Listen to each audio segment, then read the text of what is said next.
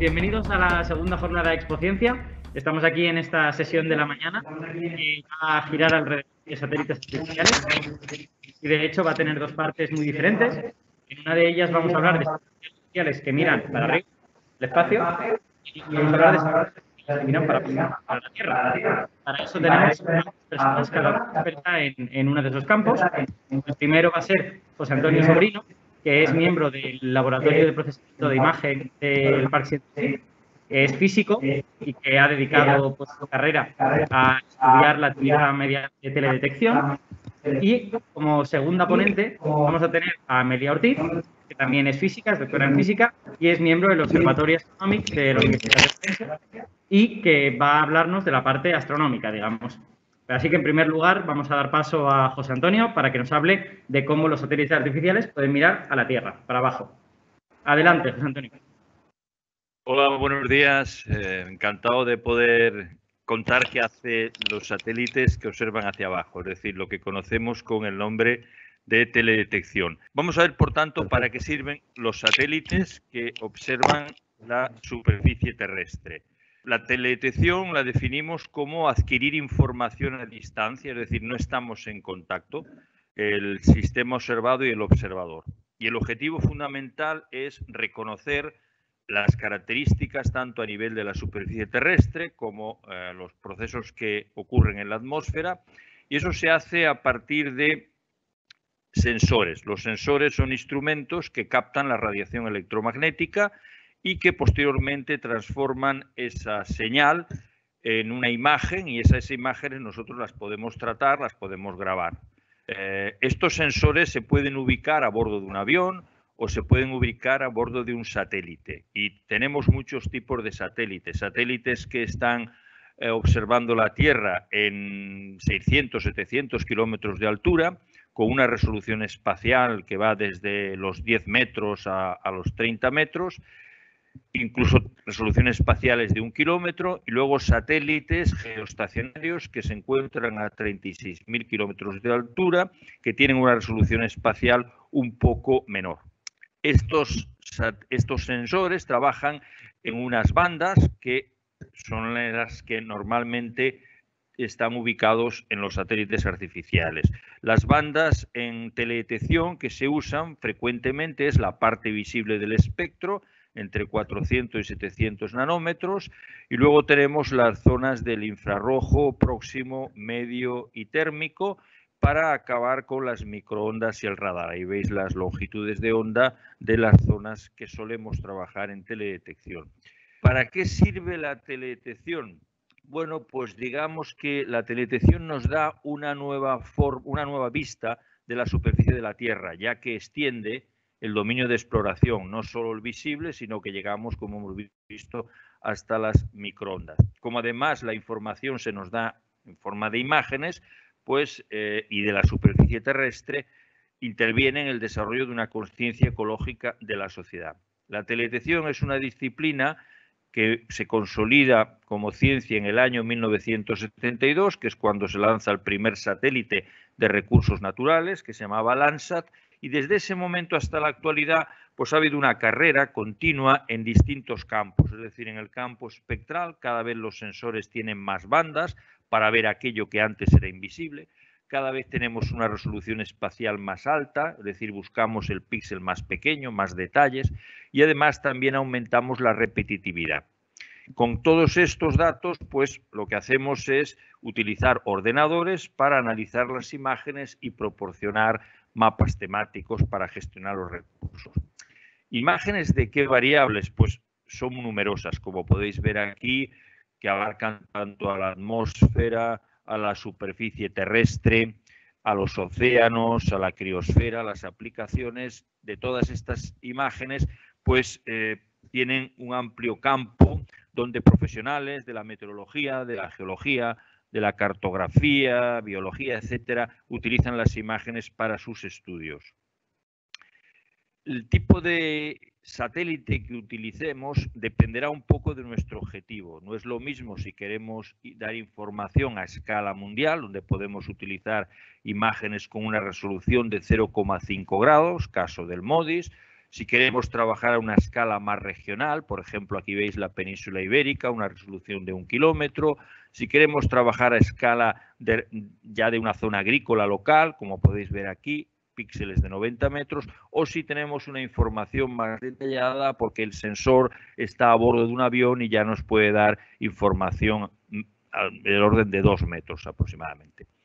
Aquí os muestro, no son todos los satélites que hay, pero algunos de ellos y como veis la constelación de satélites es grande y hay numerosos países que se han unido a la carrera espacial de lanzar satélites de observación de la Tierra.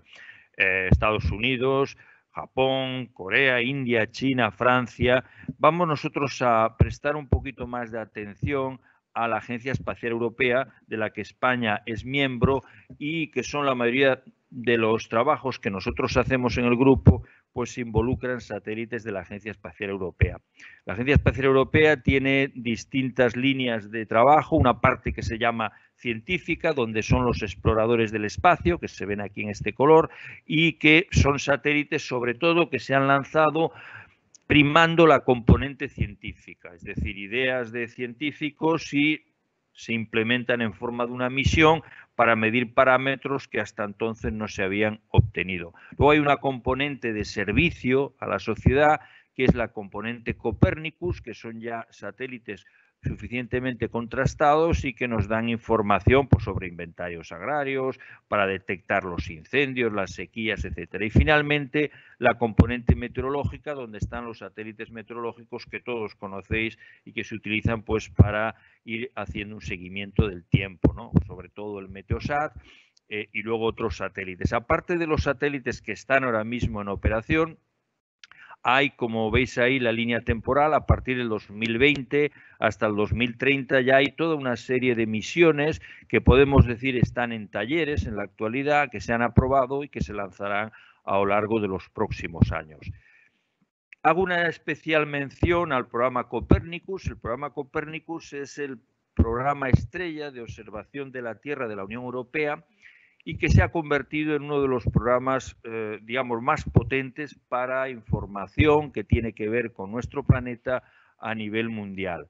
Este programa, por una parte, utiliza los datos de satélite que eh, previamente ha procesado la Agencia Espacial Europea y además utiliza los datos para la componente in situ de la Agencia Europea del Medio Ambiente.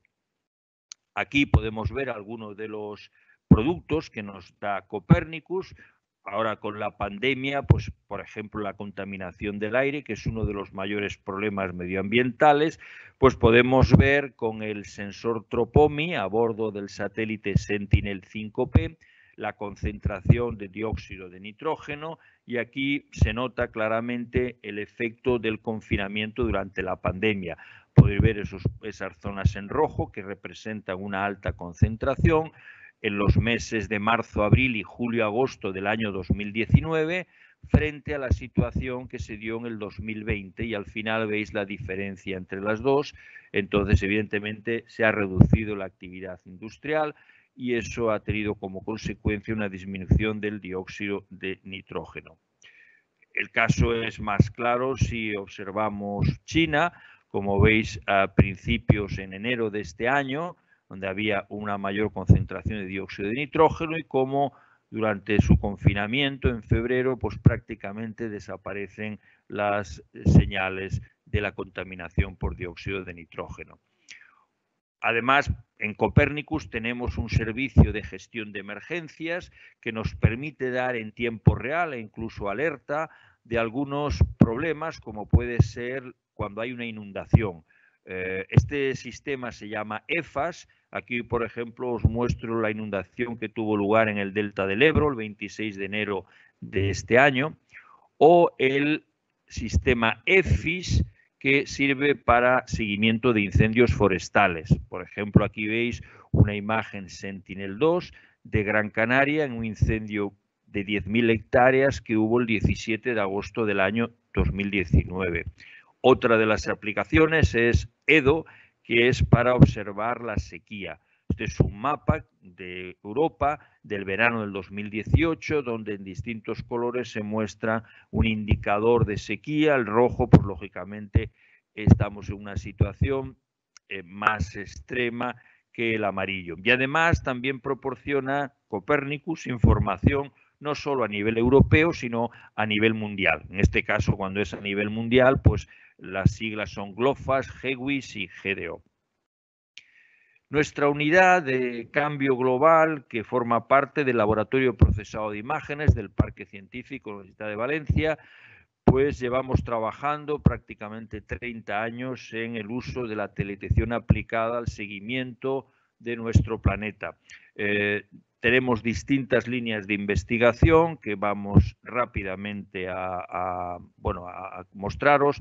Por una parte, una parte, digamos, eh, más teórica de resolución de lo que se llama la ecuación de transferencia radiativa y a partir de aquí, pues desarrollamos algoritmos que se aplican a las imágenes. No voy a entrar en, en, lo que hacemos teóricamente, pero sí quería transmitiros la idea de que un satélite no, es solo eh, fotografías a la superficie terrestre, sino que nosotros tenemos que procesar las, las, imágenes. ¿Por qué? Porque entre el suelo y el sensor tenemos la atmósfera. Y como veis, la atmósfera es un medio que emite, que dispersa, que refleja y, por tanto, la señal que nos viene del suelo, que aquí pongo como superficie en negro, vendrá afectada por la atmósfera y los absorbentes, los aerosoles, etcétera, que contenga la misma. Por tanto, no solo eh, deja de pasar una fracción de la radiación que sale del suelo, sino que además la atmósfera emite su propia radiación. Y además de esto, la atmósfera emite radiación hacia el suelo que se refleja en el mismo y llega al satélite. Al final, el satélite llega a una suma de varias componentes tanto la componente de emisión de superficie, la de reflexión o la propia emisión de la atmósfera, que nosotros tenemos que resolver esta ecuación porque nuestro objetivo final es obtener la temperatura de la superficie. En cambio, el satélite nos da una temperatura que podríamos llamar una temperatura aparente o que nosotros decimos temperatura de brillo. Resuelto eso, pues se dan expresiones que permiten obtener de forma operativa parámetros como por ejemplo la temperatura de la superficie, los índices de vegetación que nos muestran la proporción de vegetación en cada uno de los píxeles de la imagen. Aquí os mostramos un ejemplo de la península ibérica de la temperatura de la superficie con la escala de color. En este caso hemos utilizado la escala de color, un color es cada 5 grados Normalmente en nuestras presentaciones siempre utilizamos una paleta de color eh, que es la del arco iris, es decir, los valores más bajos son los azules, luego los verdes, amarillo, marrón y acabamos en los rojos como los más altos. Bien, otra, eso también se puede hacer a nivel mundial, veis este tipo de imágenes, en blanco aparece el mar porque le hemos puesto una máscara y en este caso solo hemos calculado la temperatura de los continentes podéis ver en un instante dado una fotografía como el, rango de valores es prácticamente de 100 grados entre los valores más altos y los más bajos. Esta es una imagen que pertenece al verano en el hemisferio sur, como podéis ver claramente, en Australia, en las altas temperaturas. Otras aplicaciones son, pues, por ejemplo, para estimar la cantidad de agua evaporada en milímetros día, eh, lo que se llama evapotranspiración y esto lo hacemos tanto a escala regional, que sería aquí los mapas de la península ibérica para el año 99, como a escala local o como a escala de parcela. Bueno, viene bien esta información porque a partir de la misma podemos hacer un uso racional del regadío. Tener en cuenta que el agua es un producto que, del que no hay, no sobra especialmente en estas zonas para la agricultura. Además de, como digo, la parte de algoritmos, hay una parte de procesamiento de la señal, procesamiento de las imágenes. Dentro de esta parte, eh, indicaros que mm, en nuestro laboratorio disponemos de antenas que nos permiten captar directamente imágenes de satélites, tanto el satélite NOAA, aquí veis las antenas, el satélite Terra y Aqua, sobre todo el sensor MODIS, o el Meteosat segunda generación procesamos estas imágenes, aplicamos un, sistema, un software de, recepción y de procesamiento de imágenes y finalmente, bueno, eh, captamos todas aquellas imágenes cuya antena puede, bueno, nos permite captar, digamos, imágenes con cobertura completa de la península ibérica. Aquí os mostramos pues, un ejemplo de las distintas órbitas que van barriendo la península ibérica en el caso del sector MODIS, ya sean meses del el sector, eh, el sensor Terra o el satélite Aqua. Con todo esto, mm, pues eh, hemos mm, montado varios geoportales que, de acceso de imágenes y distribución gratuita. Uno de ellos lo tenéis ahí indicado, ceosspain.lpi.v.es y aquí si queremos obtener imágenes de una parte de la superficie terrestre, pues eh, está conectado con una interface en Google Earth y entonces seleccionamos la zona que nos interesa, las fechas, el tipo de satélite y automáticamente ya nos da un inventario de las imágenes que tenemos almacenadas. Nosotros en particular tenemos imágenes desde el año 2007, que es cuando empezó a estar operativa los, las antenas.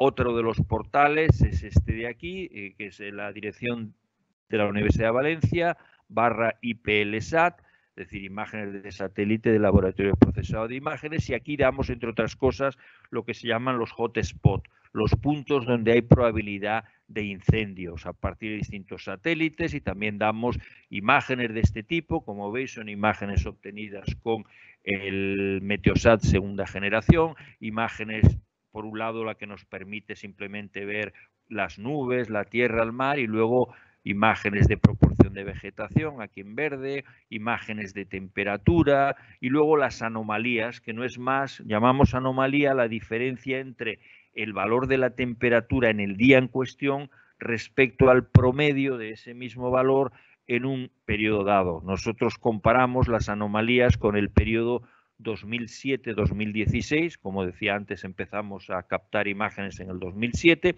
y entonces esto nos permite saber si en el día que pasa la imagen, pues tanto la temperatura como la vegetación se mantienen dentro del promedio o bien presentan valores superiores o inferiores al mismo.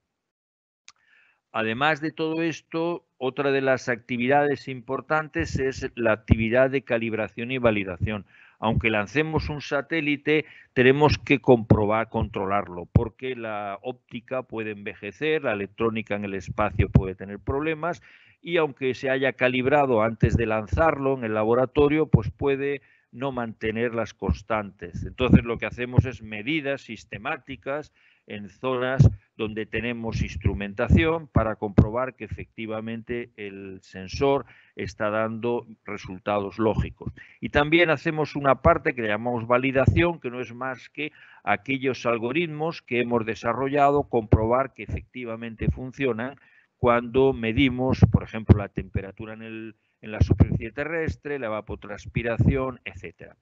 Eh, ¿Cómo hacemos esto? Pues tenemos un laboratorio con instrumentación, tanto radiómetros que nos miden la radiación en intervalos de longitudes de ondas similares a las bandas que llevan los satélites, como disponemos de, otros tipos de, instrumentación que nos permiten medir la, la emisividad, nos permiten medir la variación angular, cámaras térmicas, etcétera. Con estos, algunos de estos son eh, instrumentos que tenemos en estaciones permanentes. En particular, nosotros en España tenemos eh, estaciones en Barras, que es en Albacete, en Doñana, en Cabo de Gata, que es Almería, y ahí tenemos distinta instrumentación que nos sirve para validar. También a veces hacemos medidas ubicando sensores en aviones para tener una mayor cobertura, pero a la vez que el píxel no sea demasiado grande y así podemos estudiar cómo varía desde el, desde el dato puntual, que es el que tomamos con los radiómetros en el suelo, hasta el avión o hasta el satélite. Incluso a veces medimos desde grúas para tener una resolución intermedia, como podéis ver aquí. Hemos ido a medir a zonas como Finlandia, como Marrakech, eh, en Doñana, estamos midiendo de forma rutinaria, tanto en la marisma, en la zona de dunas, y con todo esto que generamos, pues Eh, también medimos en, en zonas urbanas, sobre todo para estudiar el efecto de isla de calor. Con todo esto, pues nosotros podemos dar, por ejemplo, las propiedades tanto reflectivas como emisivas de las superficies. En este caso os mostramos aquí unos espectros medidos in situ en distintos materiales hechos por el hombre que se utilizan en las ciudades y luego llegamos a las aplicaciones. Una vez comprobamos que funciona bien el satélite y que nuestros algoritmos también funcionan bien, pues hacemos aplicaciones como estas, que son análisis multitemporal, es decir, tomamos una serie de imágenes de X años, en particular aquí era de 20 años, y vemos el valor medio de la temperatura en la cuenca mediterránea, por ejemplo, o el valor medio del índice de vegetación, que nos mide un poco la proporción de vegetación en las zonas. Veis aquí en la imagen de arriba como esos colores azules indican que prácticamente no hay vegetación, estamos hablando del desierto del Sahara, y ya eh, por encima valores rojos, que son zonas sobre todo y negros de, vegetación de montaña, etcétera. Como veis, la graduación es claro, hay un gradiente eh, sur-norte, donde aumenta la vegetación hacia el norte, y hay un gradiente también donde la temperatura aumenta hacia el sur. Eh, otro tipo de aplicaciones. Bueno, no voy a extenderme mucho más en esto, solo es para que os hagáis una idea de con los datos de satélite, luego nosotros trabajamos y generamos distintos análisis. Este es un, este es un caso que nos muestra cómo eh, hay cambios en la vegetación europea. Digamos que el color rosa es como si el desierto estuviera entrando, ¿no? Y vemos cómo entra por aquí, por el sur, en la península, y zonas que tienen un comportamiento mm, en términos de vegetación más positivo. Positivo quiere decir para nosotros que hay más vegetación, como veis aquí en la zona de Centro Europa o en los países nórdicos. También eh, estudiamos el estrés hídrico, es decir, para ver cómo responden las superficies cuando hay falta de agua. El estrés hídrico, esto es en el caso de un campo de olivos, lo que hace pues es aumentar la temperatura de la vegetación y gracias a eso si medimos la temperatura o hacemos un vuelo con un avión podemos detectar aquellos árboles que tienen una necesidad de riego porque no se les está suministrando el que necesitan, lo que aparecería aquí en la imagen como puntitos rojos. Cada punto rojo sería un árbol, los amarillos tendrían un déficit medio y los azules estarían bien regados. También otra de las aplicaciones es el efecto de isla de calor, es decir, la diferencia de temperatura que hay entre la ciudad y la zona rural de los alrededores. Normalmente esto que se llama el UGI, eh, el Urban Heat Island, cuando usamos datos de satélite en lugar de temperatura del aire, estamos midiendo temperatura de la superficie, en este caso como es de superficie le llamamos SUGI, y esta diferencia es puede afectar eh, a la salud de las personas. ¿no? A medida que aumenta la temperatura, pues tiene impacto fisiológico y viene bien ir haciendo un seguimiento de los efectos de islas de calor urbano. Aquí mostramos un ejemplo con avión en Madrid que hicimos una experiencia a lo largo de la Castellana, que es esta línea de vuelo larga, y luego cómo se cruza por aquí hasta llegar a Vallecas. Esto que es en el centro es el retiro, en un color verde con temperatura inferior a las arterias rojas que vemos alrededor. Aquí podéis ver la escala de color entre 290 y 304 y esto es una imagen nocturna. Se ve claramente temperaturas más altas en las zonas urbanas, temperaturas más bajas en las zonas de alrededor donde hay vegetación, bosque, etc. En este eh, caso... José Antonio, disculpa, em, te quedan unos poquísimos minutos. Eh, llevas ya casi 20 Vale, pues entonces, eh, acabo pronto y gracias por...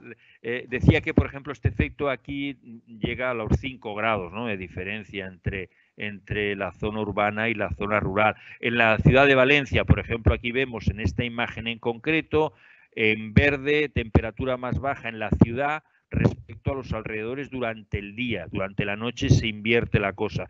Esto es un claro ejemplo de isla de calor o podemos clasificar desde este punto de vista las ciudades del mundo o dar mapas de mm, de eh, desertización, o perdón, mapas forestales, cuando hay un incendio, ver tanto la extensión como el grado de aridez.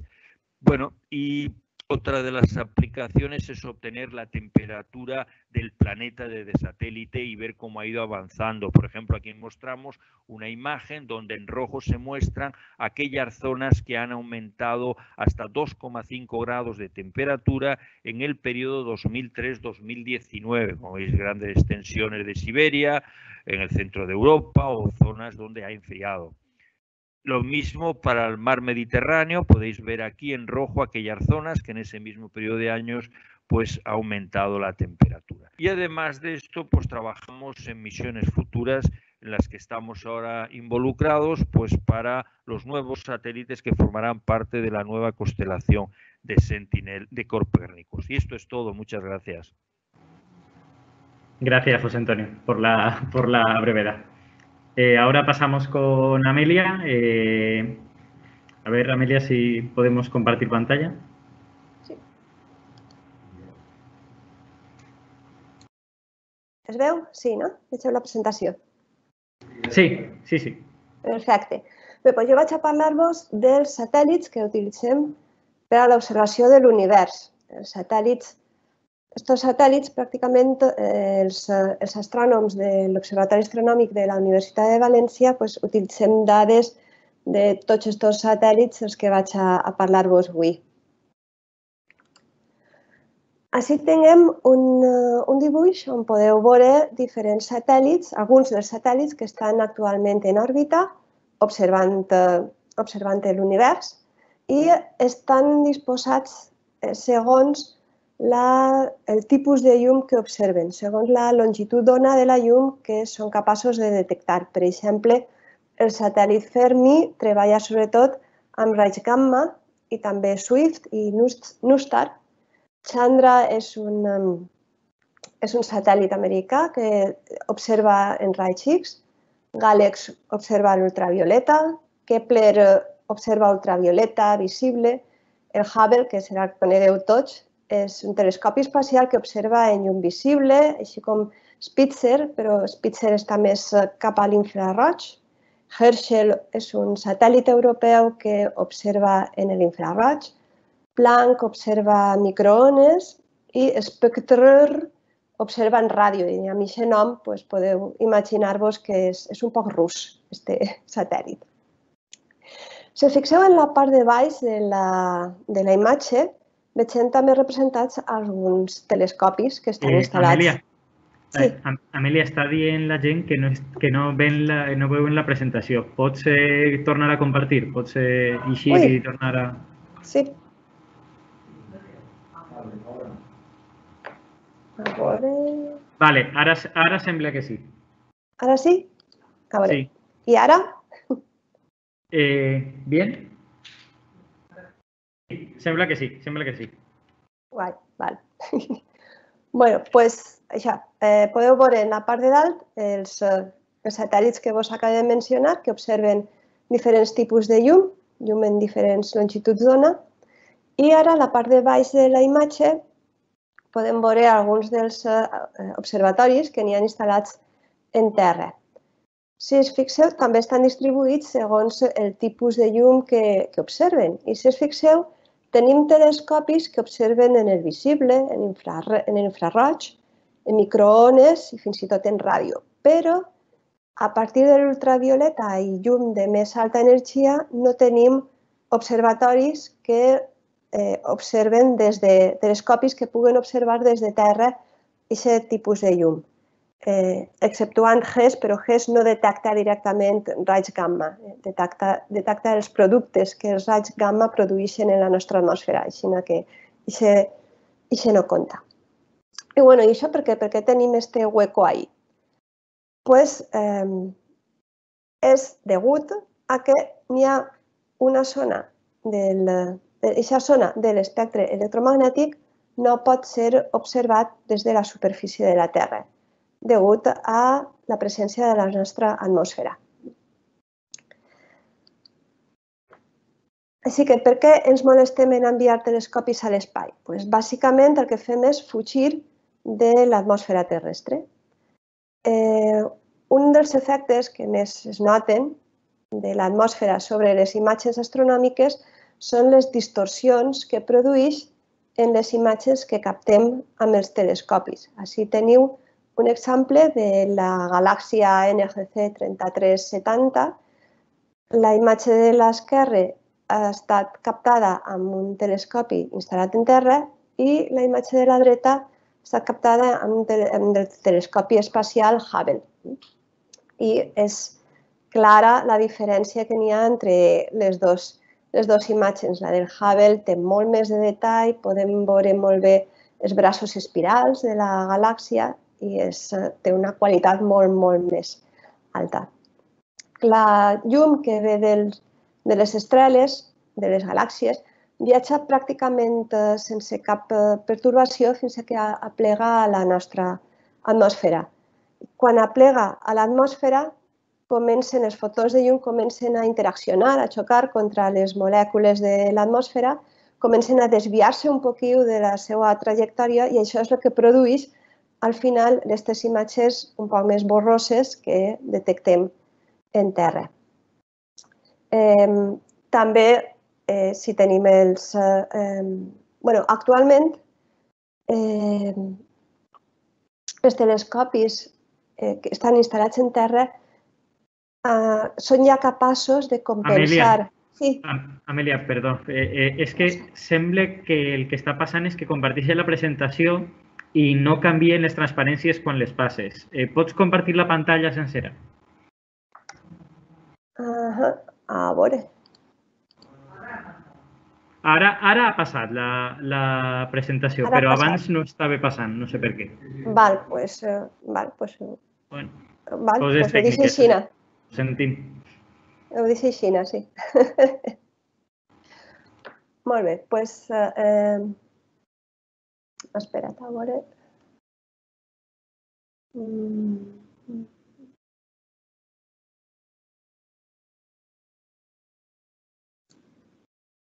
Bueno, és igual.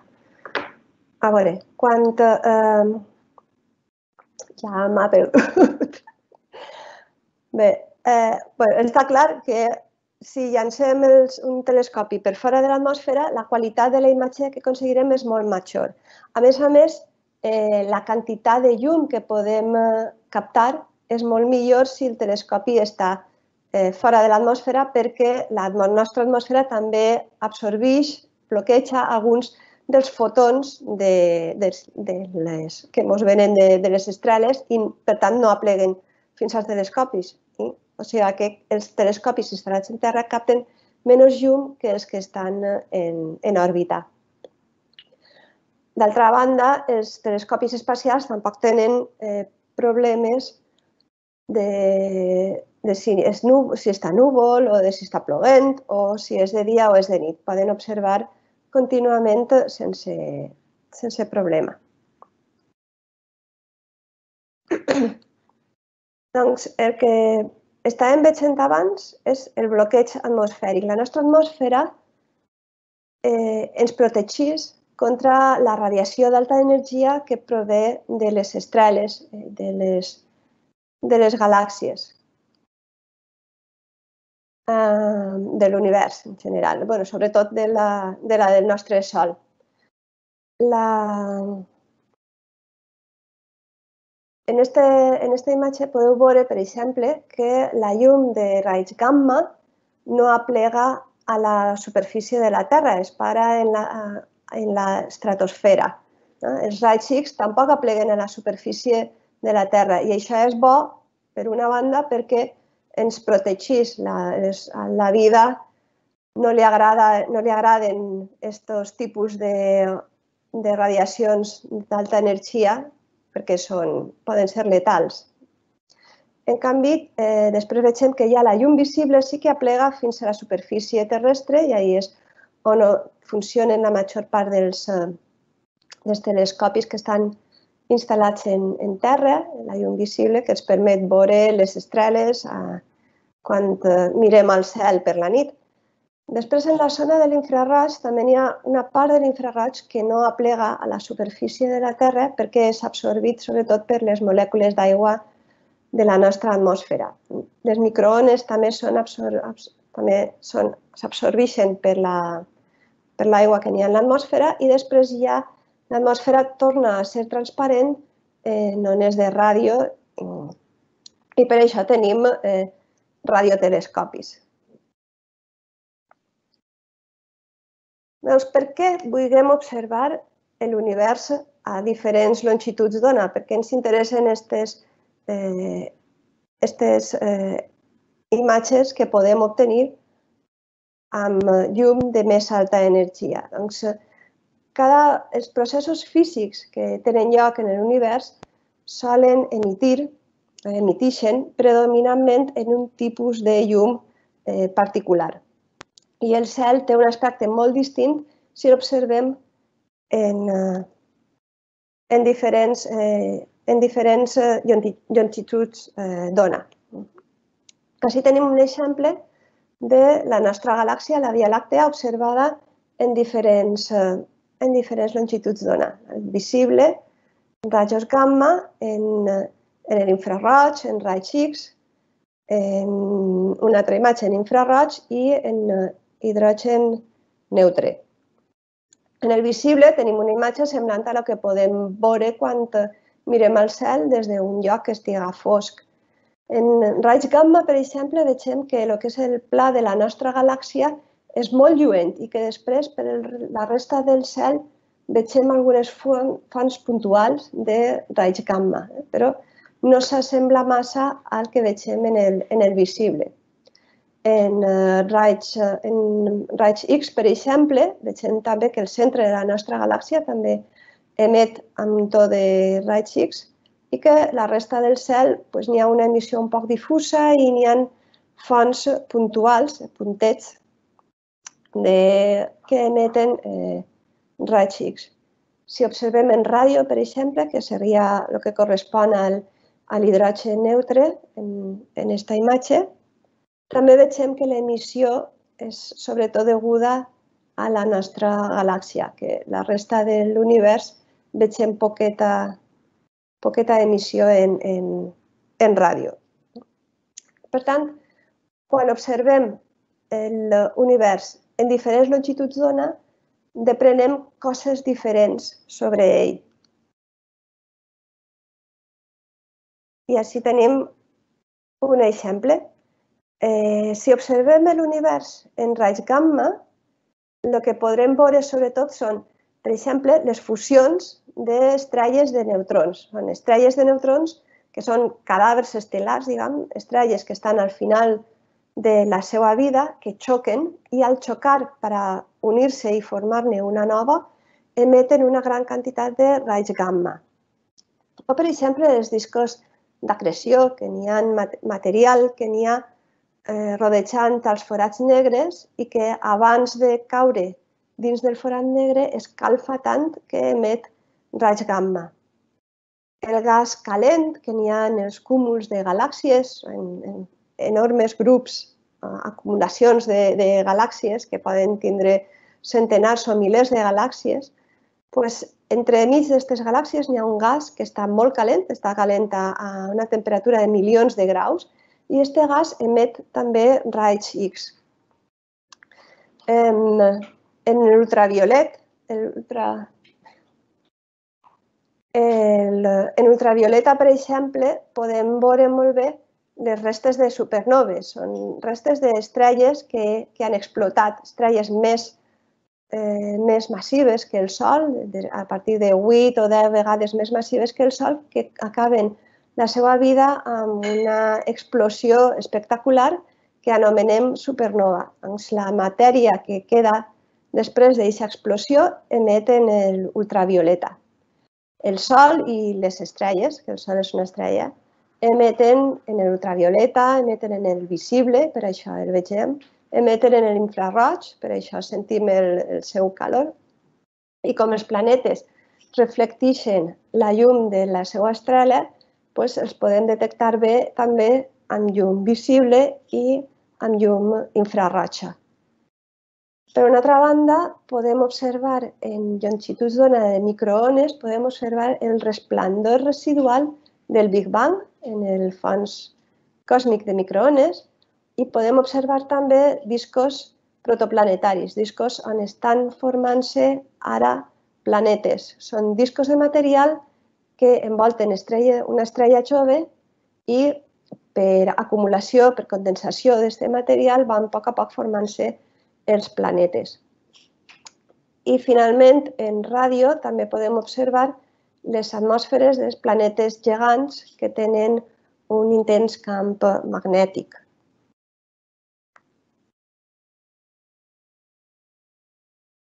Ups. Què ha passat així? Uh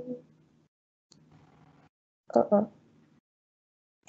Vale, ara, ara et veiem a tu, però no a la presentació. Però la presentació ha desaparegut, sí. Ai, senyor. A veure si la trobe.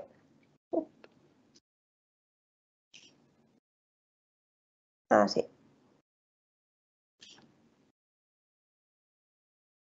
Vale. En, Amèlia, aprofitant aquest moment, en Ah, sí. cinc minutets hauríem de començar amb les preguntes, ¿vale? Sí, sí, Per que- acabe, ac- Mm, sense problema. Vale, Me queden dos diapositives.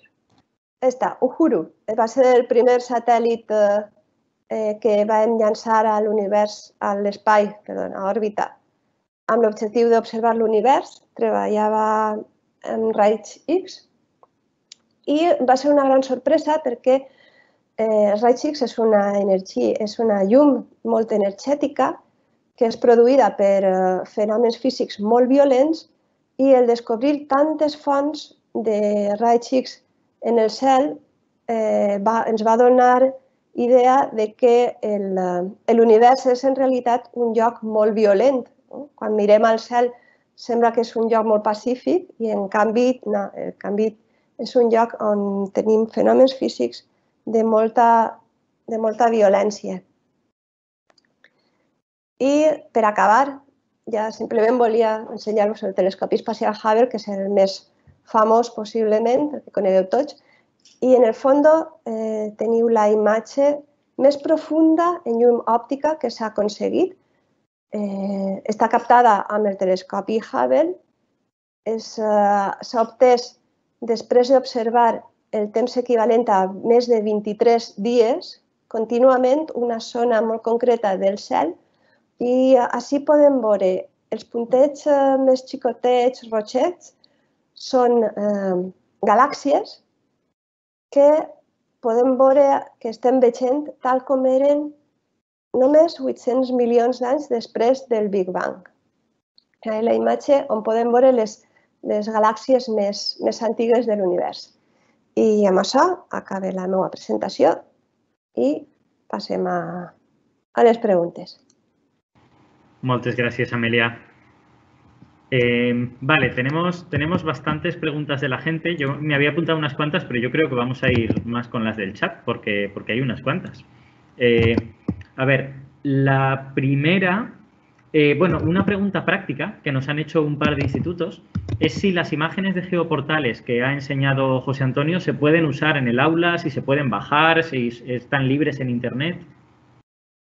Sí, no hay ningún problema. eh, simplemente de cara a nuestro control interno sí hay que eh, pedir eh, el acceso a las mismas. Pero vamos, se solicita y automáticamente se concede. Sí, se pueden utilizar, no hay problema.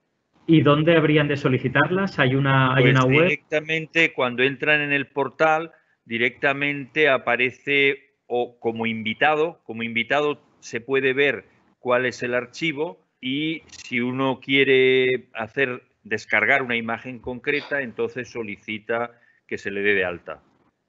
Vale, de acuerdo. En la Pues página web está la información. ¿eh? la, la web la, la tienen en tu presentación. Sí, está en, en los dos geoportales, aparece explícitamente. De acuerdo, pues entonces la pueden, la pueden extraer de ahí. Muy bien. Eh, a ver, nos, una pregunta para Amelia. Nos preguntan durante cuánto tiempo eh, está previsto que funcione el Hubble y bueno, y qué, y qué pasa después cuando deje de funcionar. Bien, el Hubble debería de haber sido retirado ya hace como unos 10 años, pero como no tenemos ningún otro telescopio sustituto, pues eh, se ha ido reparando y mientras se ha podido ir reparando, pues eh, lo hemos seguido utilizando. Ahora mismo ya no hay prevista ninguna otra eh, misión de reparación, con lo cual cuando se estropee algún componente del telescopio, pues eh, dejará, de, dejará de funcionar. La fecha pues no está clara, pero sería quizás un par de años o tres, justo para, coincidiendo con el lanzamiento del próximo telescopio espacial en el visible y en infrarrojo, que es el telescopio espacial James Webb, y que lleva ya unos 10 años de retraso respecto a lo que estaba previsto inicialmente. Sí, yo siempre hago la broma que el James Webb nadie sabe si lo van a lanzar el año que viene o en 2040, ¿no? Efectivamente, es uno de, los grandes, los grandes misterios de la astrofísica actual, es saber cuándo se lanzará el James Webb y cuánto costará, porque el presupuesto ha ido también aumentando de manera increíble. Claro, esto es una cosa que a veces la gente no lo tiene en mente, pero un año de retraso en el lanzamiento de algo es un año que hay que pagar a la gente que está trabajando en ello y por lo tanto es dinero extra que se añade, ¿no? Efectivamente. Eh, a ver, otra, otra pregunta para José Antonio. Eh, nos hacen un par de preguntas de, eh, digamos, prácticas de qué es lo que pasa, ¿no? Una de ellas es, si tú ya has calibrado y validado el satélite y entonces el satélite se estropea, ¿le sucede alguna cosa? Entonces, ¿qué, se hace? ¿Se puede solucionar? Eh, no, puedes hacer nada? Vamos a ver, sí, eh, hemos tenido ya situaciones de este tipo donde, bueno, a veces hay simplemente bandas donde tienes que dejar de utilizarlas porque, porque no responde a ninguna correlación lineal, ¿no? Y otras veces, pues simplemente hay una corrección que podemos implementar a las imágenes y que es proporcional a la señal y por tanto si uno mide en el suelo pues puede simplemente tener cuenta de eso, digamos, es un ajuste nuevo, ya está. Y una, una, pregunta que yo creo un poco para los dos, que es desde, desde el IES, Fuente de San Luis, que cómo se controla un satélite exactamente, o sea, que cómo, cómo es el proceso de control de esto. José Antonio. A ver, pues bueno, eh, el proceso de control, realmente los satélites se lanzan y dependiendo del propietario del satélite o de quien vaya a usar los datos, pues tienen sus, eh, sus equipos de control, ¿no? Tanto en la Agencia Espacial Europea, en España, por ejemplo, em, el satélite Paz, que es un satélite radar de alta resolución, se controla desde el Instituto Nacional Espacial, que está en Torrejón de Ardoz y allí, bueno, pues hay un equipo de gente que está todo el tiempo controlando todos los parámetros orbitales y si la señal es buena o hay algún problema. Eh, a ver, nos hacen otra pregunta del IES Fuente de San Luis, que es eh, ¿qué ocurre con la basura espacial? Es decir, cuando, cuando algo, no sé, algo se rompe y se queda ahí en órbita, eh, ¿qué pasa?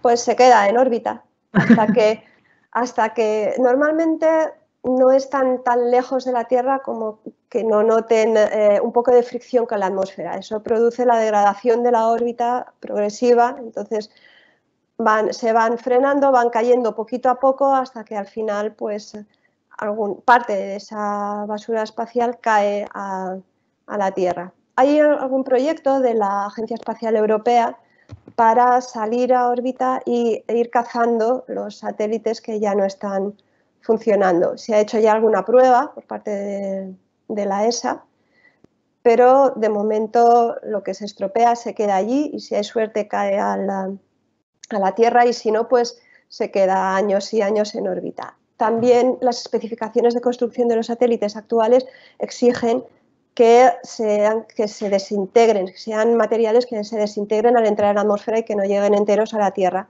para que no supongan un problema cuando caigan.